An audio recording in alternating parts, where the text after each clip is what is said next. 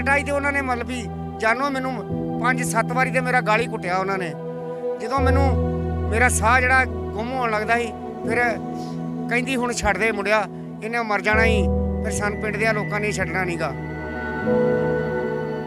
ਧੀਆਂ ਦਾ ਕਹਿੰਦੀ ਆ ਵੀ ਤੂੰ ਸਾਡਾ ਪਿਓ ਹੀ ਨਹੀਂਗਾ ਉਹਨਾਂ ਨੇ ਗਾਲੀ ਮੁਕਾਤੀ। ਪਰਸੋਂ ਮੈਨੂੰ ਮੁੰਡੇ ਨੇ ਕਿਹਾ, ਬਾਬਾ ਜੀ, ਕੀ ਖਾਓਗੇ? ਮੈਂ ਕਿਹਾ ਬੱਚਾ ਮੇਰਾ ਸਾਹ ਖਾਣ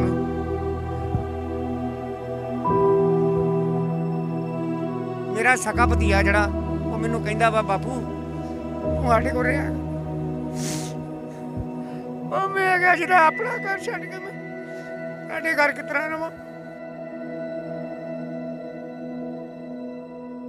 ਜਿਹੜੇ ਪੁੱਤਰ ਨੂੰ ਰੱਬ ਕੋਲੋਂ ਦੋਵੇਂ ਹੱਥਾਂ ਦੇ ਨਾਲ ਹੱਥ ਜੋੜ ਕੇ ਮੰਗਿਆ ਸੀ, ਜਦੋਂ ਪੁੱਤਰ ਜਵਾਨ ਹੋ ਗਿਆ, ਤਾਂ ਸਭ ਤੋਂ ਪਹਿਲਾਂ ਉਸਨੇ ਆਪਣੇ ਬਾਪ ਨੂੰ ਹੀ ਘਰੋਂ ਕੱਢ ਦਿੱਤਾ।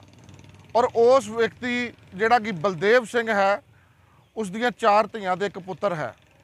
ਖੁਦ 30 35 ਸਾਲ ਰਾਜ ਮਿਸਤਰੀ ਦਾ ਕੰਮ ਕੀਤਾ, ਲੱਖਾਂ ਲੋਕਾਂ ਨੂੰ ਘਰ ਬਣਾ ਕੇ ਦਿੱਤੇ। ਪਰ ਅੱਜ ਆਪਣੇ ਸਿਰ ਤੇ ਛੱਤ ਨਹੀਂ। ਬਟਾਲਾ ਦੇ ਇਤਿਹਾਸਿਕ ਸ਼ਨੀ ਮੰਦਰ ਦੇ ਬਾਹਰ ਰਹਿਣ ਨੂੰ ਮਜਬੂਰ ਹੈ।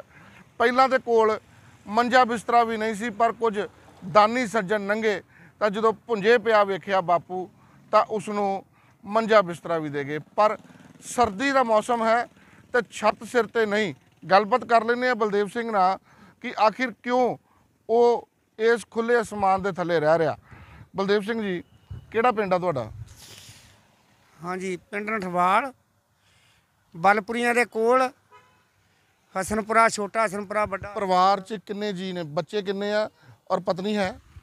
ਪਤਨੀ ਬਿਲਕੁਲ ਮੇਰੇ ਨਾਲੋਂ ਹੈਵੀ ਏ ਤੇ ਪਰਿਵਾਰ 'ਚ ਬੱਚੇ ਕਿੰਨੇ ਤੇ ਬੱਚੇ ਨੂੰ ਵੇਖੋ ਕੰਮ ਸਿਖਾਇਆ ਸਾਰੇ ਕੰਮ ਪਾਪੜ ਸਾਰੇ ਵੇਲੇ ਕਦਲੀ ਵੇਲੇ ਭਈ ਕੋਈ ਜ਼ਿੰਦਗੀ ਦੇ ਦਿਨ ਚੰਗੇ ਕੱਟੇ ਜਾਣਗੇ ਭਈ ਚਲੋ ਭਈ ਬੁਢਾਪਾ ਆਊਗਾ ਤੇ ਕਿਤੇ ਕੋਈ ਜਾਇਜਾ ਕਾਰ ਹੋਊਗੀ ਕੋਈ ਸੰਭੂਗਾ ਸੰਭਾਲੂਗਾ ਕੋਈ ਟੱਟੀ ਪਿਸ਼ਾਬ ਕਰਾਊਗਾ ਕੋਈ ਕੁਛ ਕਰਾਊਗਾ।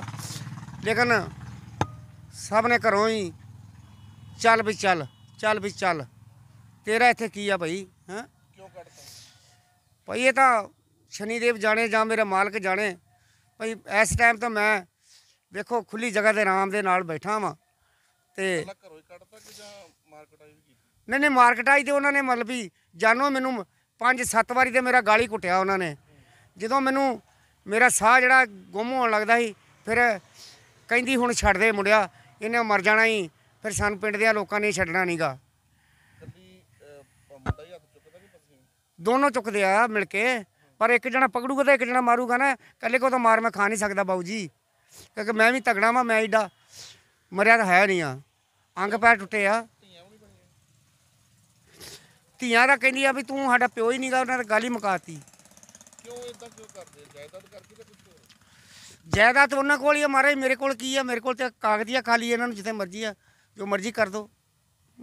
ਇਹ ਤਾਂ ਮੈਂ ਤਾਂ ਰੱਖੇ ਆ ਕਿ ਕੱਲ ਨੂੰ ਮੈਨੂੰ ਕੋਈ ਮੇਰੇ ਤੇ ਐਕਸ਼ਨ ਨਾ ਆਵੇ। ਜਾਇਦਾਦ ਕਿੰਨੀ ਦਾ ਦੇਖੋ ਇਹ ਕੋਈ ਕੋਈ 2 ਲੱਖ ਇੱਟ ਵੀ ਲੱਗੀ ਹੋਊਗੀ।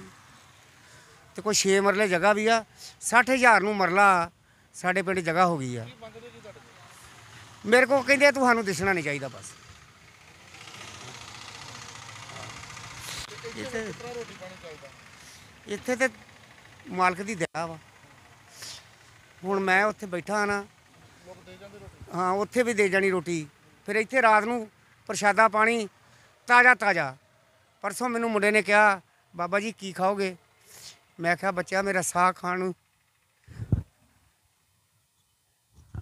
ਅੱਖਾਂ 'ਚੋਂ ਹੰਝੂ ਨਹੀਂ ਰੁਕਦੇ ਕਿਉਂਕਿ ਜਿਸ ਪਰਿਵਾਰ ਨੂੰ ਪਾਲਿਆ ਮਿਹਨਤ ਮਜ਼ਦੂਰੀ ਕੀਤੀ ਉਹਨੇ ਘਰੋਂ ਕੱਢਤਾ ਤੇ ਜਿਹੜੇ ਇਲਾਕੇ ਦੇ ਲੋਕ ਨੇ ਉਹ ਆ ਕੇ ਪੁੱਛਦੇ ਆ ਤੇ ਗਰਮ ਰੋਟੀ ਵੀ ਦਿੰਦੇ। ਕਰਦੇ ਆ ਲੋਕ ਜਿਹੜੇ ਆ ਜਿਹੜੀ ਦੁਨੀਆ ਉਹ ਲੋਕ ਜਿਹੜੇ ਆ ਉਹ ਮੇਰੇ ਉਹ ਮੇਰੇ ਤੇ ਪੁੱਤਰ ਹੀ ਉਹ ਤੇ ਧੀਆਂ ਵੀ ਉਹ ਨੇ ਜਿਹੜੇ ਮੈਨੂੰ ਆਣ ਕੇ ਰਾਤ ਨੂੰ ਪਿਆਰ ਦਿੰਦੇ ਆ ਦਿਨੇ ਪਿਆਰ ਦਿੰਦੇ ਆ। ਮੇਰਾ ਤੇ ਸਭ ਕੁਝ ਹੀ ਉਹ ਆ। ਮੇਰਾ ਮਾਂ ਪਿਓ ਵੀ ਉਹ ਆ।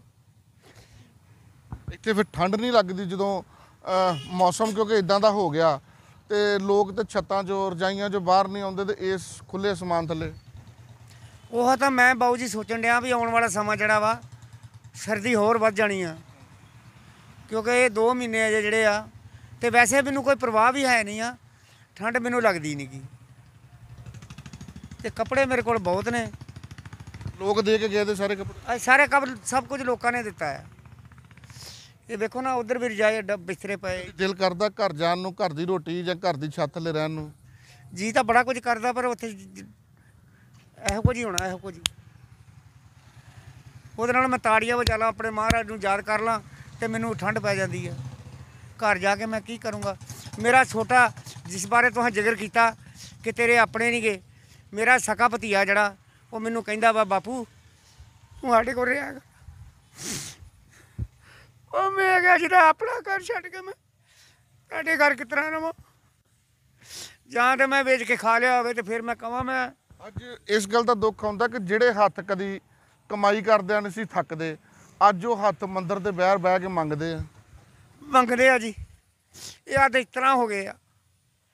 ਇਹ ਹਰ ਇੱਕ ਦੇ ਗਾੜੀ ਇਸ ਤਰ੍ਹਾਂ ਹੋ ਜਾਂਦੇ ਆ। ਇਹ ਬਣਾਤਾ, ਕਿੰਨੇ ਮੰਗਤਾ ਬਣਾਤਾ ਜਾਂ ਕਰਦਿਆਂ ਬਣਾਤਾ ਤੇ ਜਾਂ ਦੁਨੀਆ ਦੇ ਨਹੀਂ ਬਣਾਉਂਦੀ ਕਿਸੇ ਨੂੰ ਮੰਗਤਾ। ਇਹ ਬਲਦੇਵ ਸਿੰਘ ਨੇ ਜਿਹੜੇ ਕਦੀ ਕਿਰਤ ਕਰਨ ਤੇ ਵਿਸ਼ਵਾਸ ਕਰਦੇ ਸੀ ਤੇ ਰੱਜ ਕੇ ਮਿਹਨਤ ਵੀ ਕੀਤੀ, ਅੱਜ ਇਹ ਹੱਥ ਬਟਾਲਾ ਦੇ ਇਤਿਹਾਸਿਕ ਸ਼ਨੀ ਦੇ ਮੰਦਿਰ ਦੇ ਬਾਹਰ ਬੈਠ ਕੇ ਮੰਗਦੇ ਆ। ਸਿਰ ਤੇ ਛੱਤ ਨਹੀਂ।